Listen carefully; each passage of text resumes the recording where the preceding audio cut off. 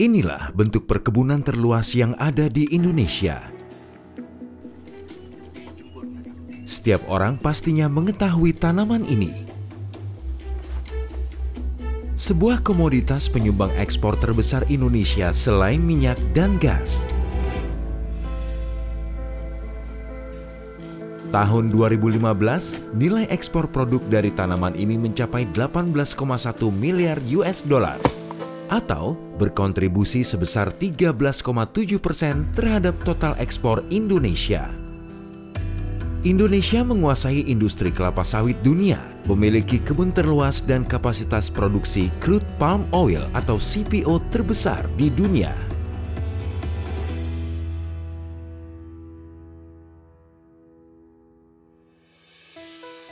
Berdasarkan data Kementerian Pertanian dan Kementerian Agraria dan Tata Ruang, total luas lahan perkebunan kelapa sawit di Indonesia mencapai 15,7 juta hektar.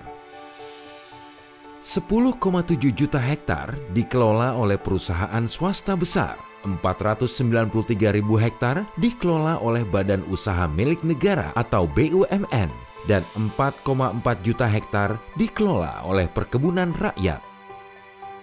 Perkebunan kelapa sawit ini tersebar di 22 provinsi. Terluas berada di Provinsi Riau, Kalimantan Tengah, Kalimantan Timur, dan Kalimantan Barat. Namun meningkatnya produksi dan ekspor dari kelapa sawit belum berdampak pada peningkatan penerimaan negara dari pajak. Bahkan penerimaan pajak pada tahun 2014 menurun di saat produksi dan ekspor kelapa sawit meningkat.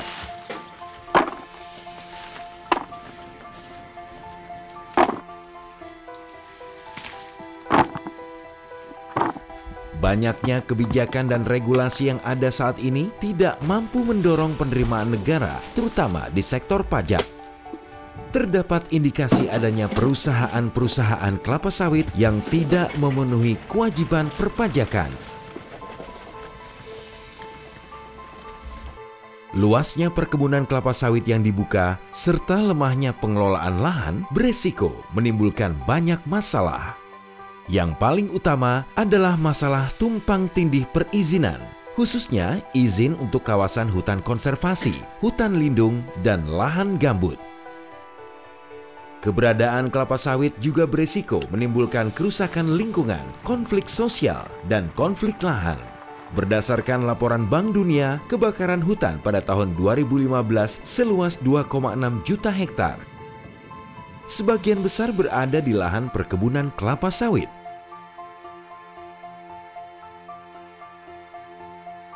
Karena banyaknya masalah dan peluang kerugian negara dari sektor perkebunan kelapa sawit, Komisi Pemberantasan Korupsi atau KPK melakukan kajian sistem pengelolaan komoditas kelapa sawit di Indonesia.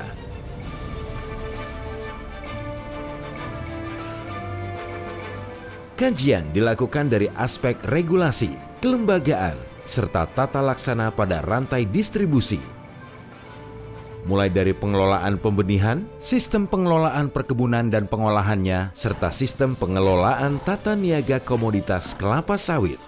Kajian ini merupakan bagian dari Gerakan Nasional Penyelamatan Sumber Daya Alam Indonesia. Dari hasil kajian KPK tentang sistem pengelolaan komoditas kelapa sawit, terdapat tiga temuan. Pertama, sistem pengendalian dalam perizinan perkebunan kelapa sawit belum memadai dan akuntabel untuk memastikan kepatuhan pelaku usaha. Hasil analisis KPK, tidak adanya mekanisme perencanaan perizinan berbasis tata ruang yang efektif untuk mengendalikan usaha perkebunan kelapa sawit. Peraturan perizinan di sektor perkebunan belum mengatur secara efektif koordinasi lintas lembaga dalam penerbitan dan pengendalian izin di sektor perkebunan. Dampak dari temuan ini adalah sebagai berikut.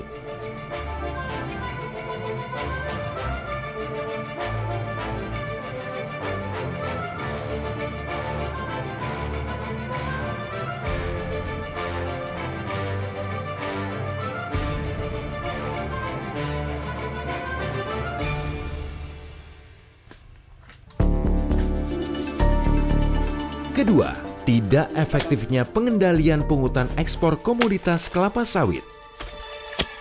Sistem verifikasi ekspor tidak berjalan baik.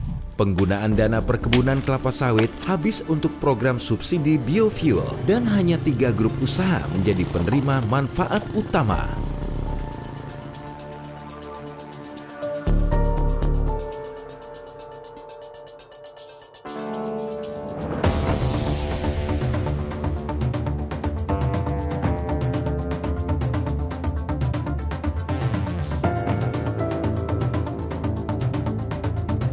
Dampak dari temuan ini adalah sebagai berikut.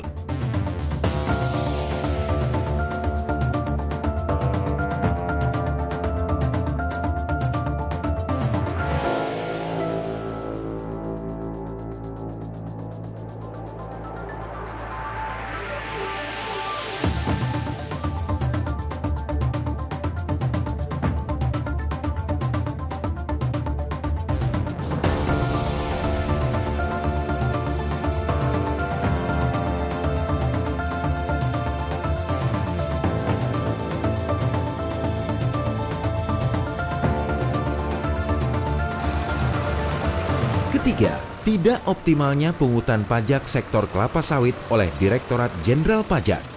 Direktorat Jenderal Pajak tidak mendorong kepatuhan wajib pajak sektor perkebunan kelapa sawit.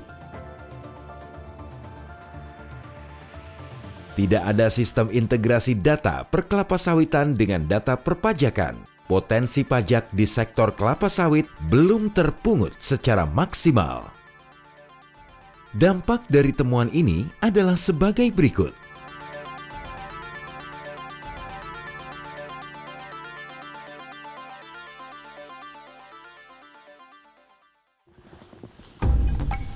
Dengan hasil kajian ini, KPK mendorong adanya perbaikan pengelolaan komoditas kelapa sawit secara menyeluruh, sehingga dapat memberikan nilai tambah terhadap perekonomian dan juga dapat meminimalisir potensi korupsi yang terjadi di sektor kelapa sawit.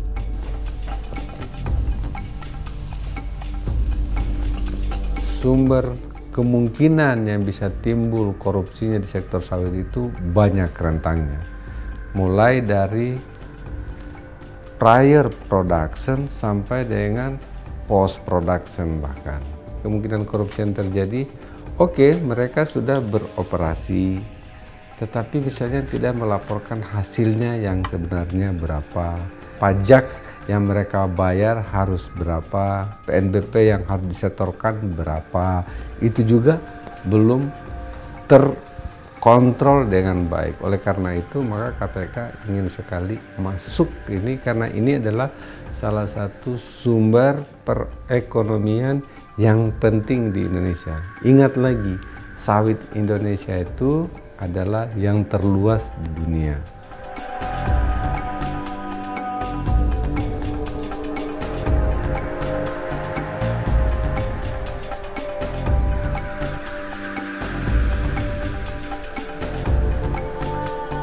Yang saya ingin ingatkan bahwa tidak ujuk-ujuk mengapa KPK itu mau terlibat di sawit. Karena masa lalu sudah banyak sekali juga pejabat publik yang ikut terseret dalam pusaran korupsi karena berhubungan dengan izin-izin yang berhubungan dengan salah satunya sawit. Ya misalnya uh, Gubernur Kalimantan Timur ya itu mengeluarkan izin tentang sawit yang di luar kewenangannya karena dia betul-betul mengeluarkan uh, luasnya sangat besar uh, kepada orang atau perusahaan tertentu. Padahal setelah dibuka lahannya tidak ditanamin sawit, hanya diambil kayu. Yang kedua di Riau, dua gubernur Riau itu bahkan terimplikasi dengan izin-izin yang berhubungan dengan pembukaan lahan. Yang ketiga beberapa bupati, beberapa bupati itu misalnya uh, Bupati Buol, uh, Batalibu. Ada lagi bupati yang di Palalawan. Uh, siapa lagi nih? Tengku Azmun Jafar. Tengku Azmun Jafar. Itu semua berhubungan dengan sektor hutan dan lebih khusus lagi ada hubungannya dengan sawit. Jadi kita tidak boleh membiarkan hal ini terjadi.